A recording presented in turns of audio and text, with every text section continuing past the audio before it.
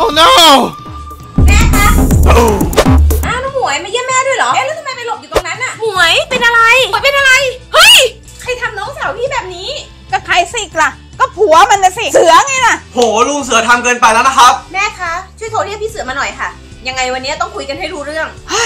ไม่ต้องโทรหรอก จริง ๆ แล้วอะหมวยเองก็มีส่วนผิดนะ จะไปโทษเสือเขาฝ่ายเดียวอะมันก็ไม่ได้หรอกนะ คุณยายครับ จริง ๆ แล้วเนี่ยเรื่องนี้มันไม่เกี่ยวกับว่าใครผิดใครถูกนะครับ แต่เป็นผู้ชายก็ไม่ควรทำร้ายผู้หญิงนะครับ ใช่ค่ะแม่ แม่ปล่อยให้น้องถูกทำร้ายแบบนี้ก็ไม่ได้นะคะ พี่เสือเลิกงานกลับดึกเมากลับบ้านมาเกือบทุกวันเลย พอหมวยพูดเตือนสติ ก็หาว่าหมวยจู้จี้ขี้บ่นก็เลยทุบตีหมวยเลย เห็นไหม